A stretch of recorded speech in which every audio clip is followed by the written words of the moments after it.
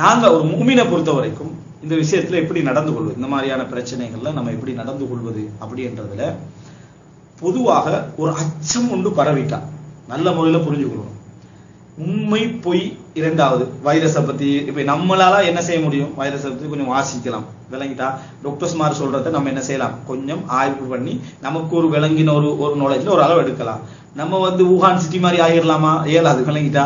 அப்ப நமக்குரிய நுழைஞ்ச வச்சுதான் நம்ம வாசிச்சு தெரிஞ்சுக்கலாம்.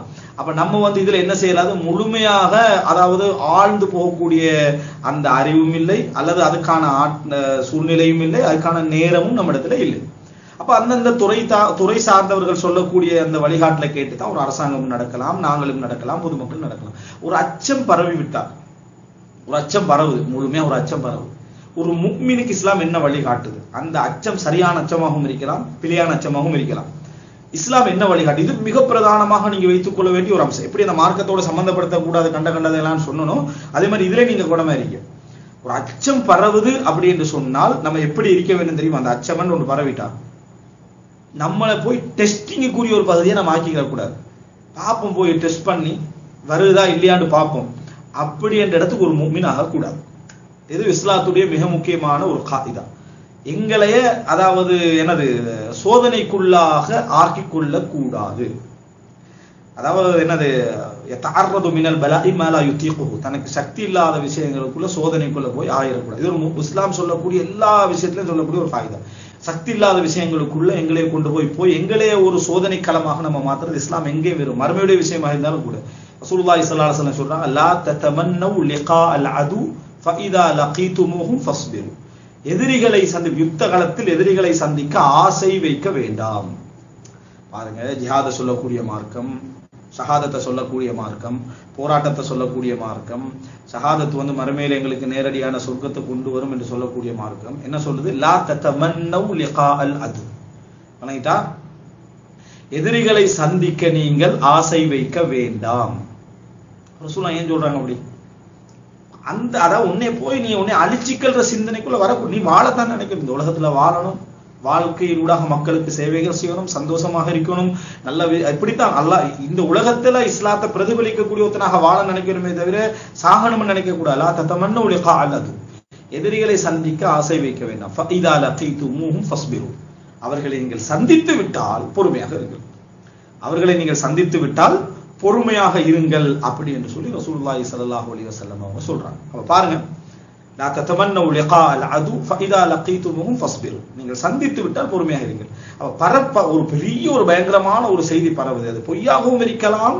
என்னது? உண்மையாகவும் இருக்கலாம். பொய்யாகவும் இருக்கலாம் உண்மையாகவும் இருக்கலாம். அப்படி ஆனால் அதனுடைய அதை ஆய்வு செஞ்சு தெரிகிற அளவுக்கான நமக்கான ஒரு அறிவோ அல்லது சூழ்நிலையோ இல்லை. அவ்வளோ ஒரு பயங்கரம். நமக்கு கேள்விப்படுகிறோம்.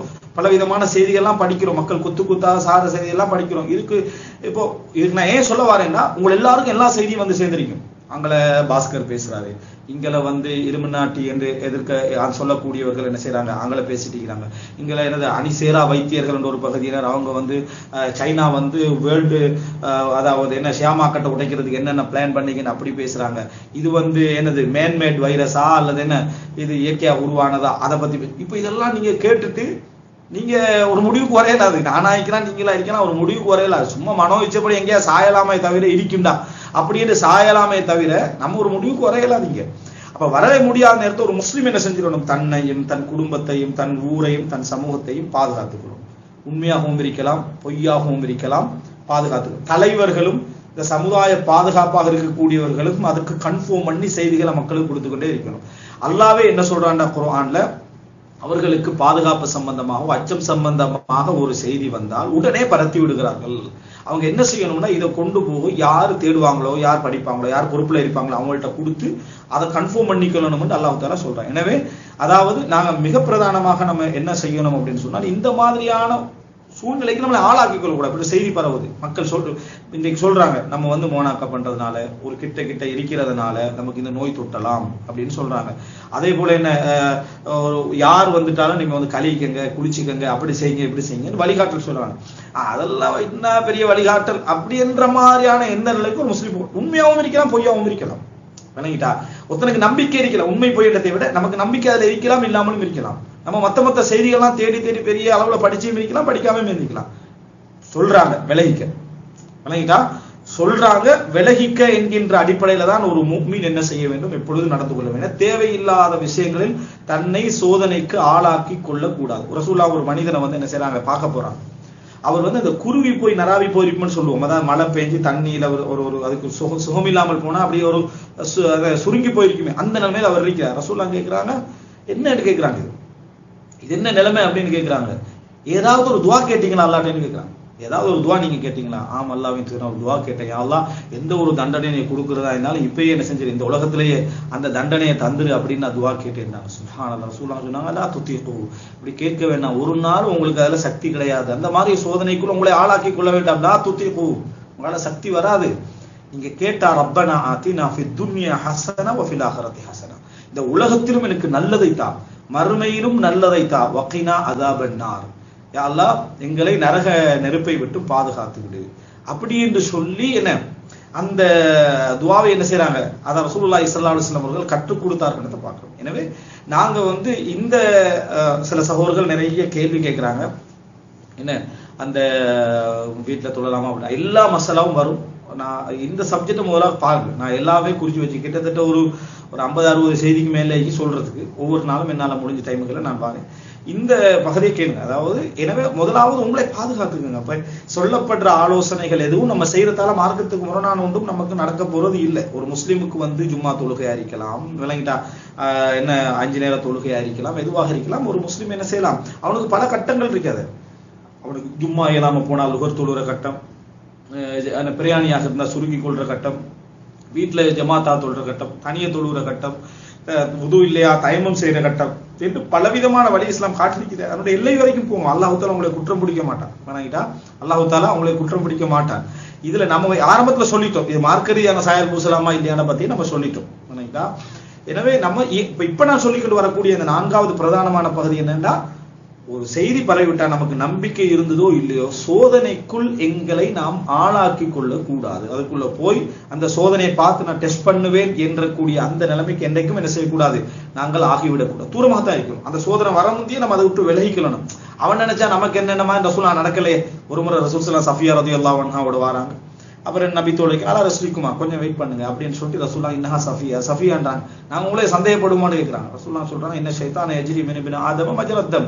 ஆதமுடைய ரத்த நாளங்கள்லாம் ஷைத்தான் ஓடிக்கொண்டிருக்கிறான். ரசூலுல்லாஹி ரசூல்லா இஸ்லா வஸல்லம் செய்றாங்க? சொல்றாங்க.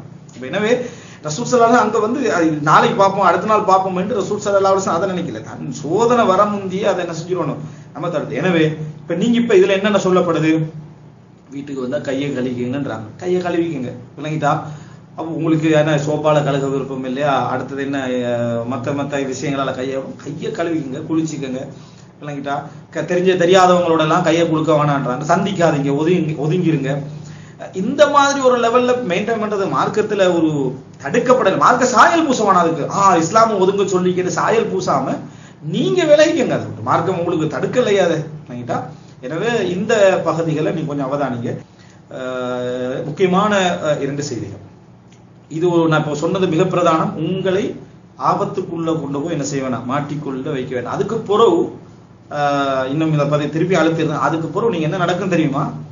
இப்ப இருந்த உறுதியெல்லாம் தாண்டி ஆக கீழ்நிலைக்கு நம்ம போயிருவோம் சும்மா இருந்தா கூட நல்ல மார்க்கத்தை உறுதி திருப்போம் நோயன்னு ஒன்று வந்துட்டா நம்ம அன்றைக்கு எப்படி உறுதியாக இருக்க போறோமோ தெரியாது. அதுக்கு பின்னால கூடாத வார்த்தைகளை பேசி செய்ய முடியாத வேலைகள்லாம் செஞ்சு எங்க போய் நம்மளோட நிலைமை நிற்குமோ தெரியும் அதனால அந்த சோதனை வர முன்னாலே நம்ம என்ன செய்யணும்? அதை விட்டு தூரமாக நின்று கொள்வது நமக்கு என்ன?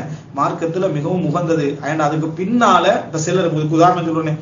சிலர் என்ன செய்வாங்கன்னா மறைச்சி தர்மம் செய்யறேன் மறைச்சி தர்மம் செய்யறேன்னு மறைச்சி தர்மம் செஞ்சுருவாங்க. இஸ்லாம் பகிரங்கமா தர்மம் செய்யறதுக்கு அனுமதிச்சு மறைச்சி தர்மம் செய்ய யாருக்கும் சொல்லக்கூடாது அப்படின்னு சொல்லிடுது ஆனா ஒரு மூணு நாள் பொறுக்க இயலாது நம்ம முழு பெரிய தர்மத்தை செஞ்சு போட்டு யாருக்கும் சொல்லாம இருக்கிறமேன்னு ஒரு வேதனையிலே உட்கார்ந்துட்டிப்பான் அப்ப ரகசியமா தர்மம் செய்யணும் அதான் மிகவும் சிறப்பு அப்படின்ற டைம்ல யாரும் நீங்க செஞ்சுக்கிறீங்களான்னு யாரோ ஒருத்தர் கேட்டாங்கன்னு வைங்களேன்.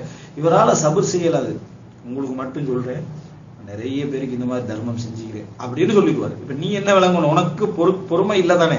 அப்ப நேரத்தோடையே பகிரங்கமா அந்த தர்மத்தை செஞ்சிருக்க இந்த இஹ்லாஸ் பிரச்சனை உனக்கு வராது. அப்ப நம்மள மனசுடைய சபரை நம்ம புரிஞ்சுக்கணும் ஒரு கட்டத்துல நம்ம தலைகீழா மாறிடும் சீதனை வாங்க மாட்டேன்னு தியாகம் செஞ்சு கல்யாணம் முடிச்சு காலம் ஃபுல்லா நான் சீதனை வாங்கல வாங்கல இருபது வருஷமா சொல்லி காட்டினவங்க சரியா? எனவே ஒருவர் இந்த சபர் என்ற விஷயத்துல மிகவும் கவனமாக இருக்கணும். நம்ம எப்படிப்பட்ட மனநிலை வந்து நமக்கு பின்னால ஏற்படும் என்பதை புரிந்து கொண்டு நமக்கு மார்க்கத்துல பிழை இல்லை தானே? எனவே ஒதுங்கிக் கொள்வோம். அப்படின்னு ஒதுங்கிக் கொள்றது நமக்கு உலக ரீதியான எந்த அச்சத்திலும் மிகவும் சிறந்தது. இது பிரதான